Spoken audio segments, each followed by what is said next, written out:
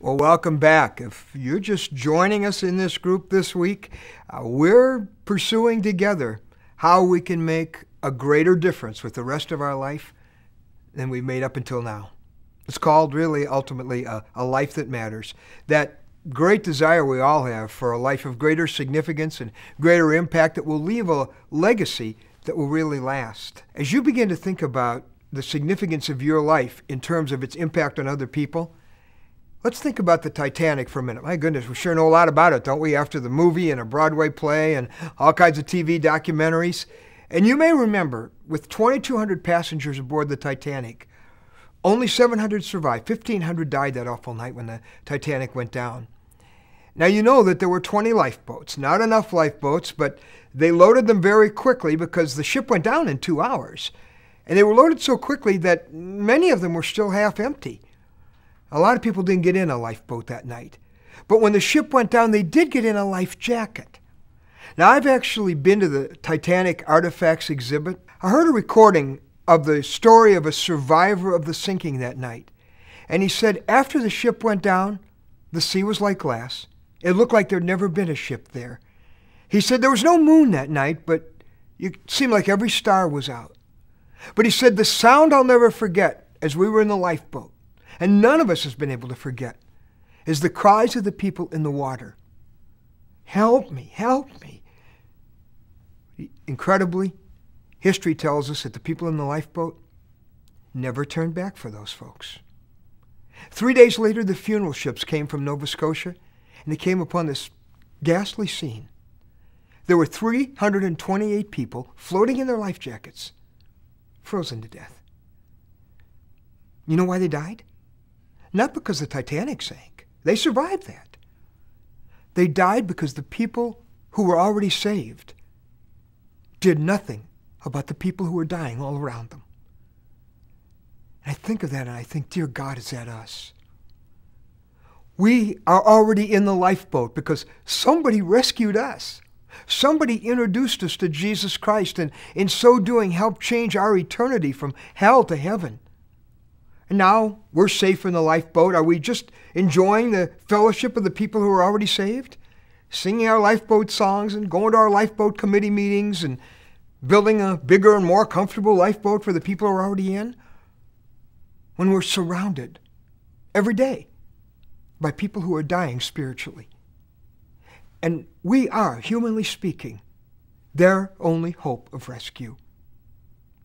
I believe that there's some people in the room right now who are ready to turn that lifeboat around and say, I want to help pull as many people I care about into that boat as I can with the life that I have left. I don't know how much life I've got left, but I want to use it to help people be in heaven with me.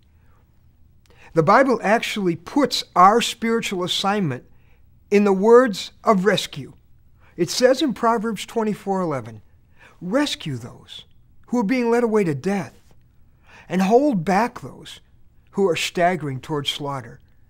It makes such an incredible difference when you begin to look at the people you go to work with and you live across the street from and you golf with or hunt with or go to school with or play sports with, even members of your family, and you can see them through Jesus' eyes we'll be looking together at some of the words that the Bible uses to describe the people around us who do not have a personal relationship with Jesus Christ. Words like lost, perishing, without hope and without God in this world. And then the awful words of 2 Thessalonians chapter 1 and verse 8. They will be separated from the presence of the Lord forever. Now that's people we know. That's people we see sometimes every day. Part of our life, part of our world. And God has given you a title that perhaps is the most important title you'll ever hold and the most important position any human being could ever have. If you're talking about a life that matters, you need to understand the title God has given you. 2 Corinthians chapter 5 verse 20 says this. We are Christ's ambassadors as though God were making his appeal through us. And then he goes on to say, I implore you in Christ's stead, be reconciled to God.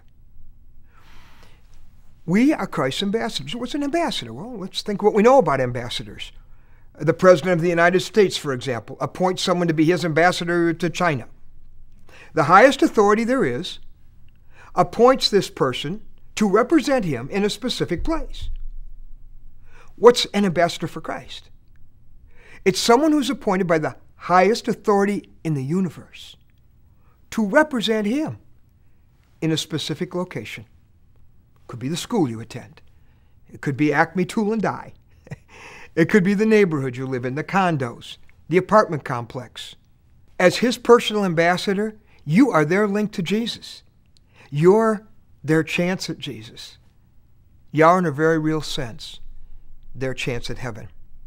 As my father in law got older, he did what a lot of elderly people do. He told stories about his life and told the stories and told the stories and told them over and over again. And there's one I remember very well. He said when he was a boy, he saw a girl drown. He had no idea what to do to rescue her. But he said, I made up my mind that day that that would never happen again without me knowing how to save someone who was drowning. Well, he did learn how. And in his lifetime, he saved four drowning people, including his own pastor, who was caught in a whirlpool in a local river. This is a man who said, I will not let them die again in front of me without knowing how to rescue them. That's what these weeks are about learning how to rescue them. So, we're going to spend the next few minutes looking at the most important assignment you'll ever have. In fact, the most important thing you will probably ever do in your life. Now, thanks again for being a part of this, and I hope you have a great visit together, and I'll see you in a few minutes.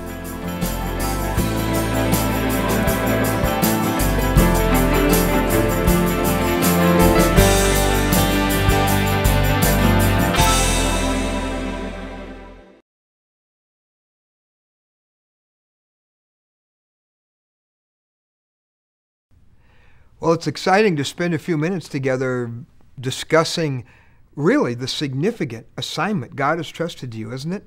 You begin to see the eternal importance of what you do every day and who you're with every day and what a difference you could make in their eternity. There was a scene I was thinking of in the movie Amazing Grace. Amazing Grace was a story of William Wilberforce, who, as one man, fought a 20 year battle to end slavery in the British Empire. And uh, uh, he finally won that battle. One of the ways he did that was he had to help the people in Parliament begin to understand what was really happening to people when they were taken on British ships to the Caribbean, to British islands, and made slaves there. Some of the people in Parliament thought that they were doing better, they were having a better life. So in the movie, William Wilberforce arranges a little cruise for some parliamentarians out in the harbor. And as they come back, they're all nicely dressed and they're being served all these delicacies and snacks uh, by waistcoated waiters, and they're all enjoying themselves, laughing. And suddenly they begin to cover their noses with their handkerchiefs, going, What is that smell? Well, they have come up alongside a ship called the Madagascar. And suddenly, William Wilberforce appears on the deck of the Madagascar. And he says, Uncover your noses. This is a slave ship. It left Africa for the islands with 600 passengers. 200 made it, 400 died. What you are smelling is the stench of death. So uncover your noses and never forget this smell. William Wilberforce began to turn the hearts of those people by insisting that they not be able to forget the consequences of their failure to act. God does not want you and me to forget the consequences of our failure to act, to deliver the life saving good news about His Son upon which eternities depend. In light of that significant trust from God, I want to ask you to pray a prayer for this next week, every new day. Would you pray this? It's a dangerous prayer, in a sense, because it's life changing. Go ahead, God, and break my heart. Break my heart for the people I work with, live near, see all the time, I go to school with. Dear Lord, help me see what you see. People who, without an intervention by a rescuer, are the future inhabitants of hell. Help me see them. Help me love them. Help me care about them as you do. Would you pray that for these next days ahead? When we come back together, it'll be important for us to share a little bit of what has happened. As for at least a few days of our life, we have asked God to show us the people around us through his eyes. They are people outside the lifeboat. And it's up to us to pull them in. God bless you. I'll see you next time.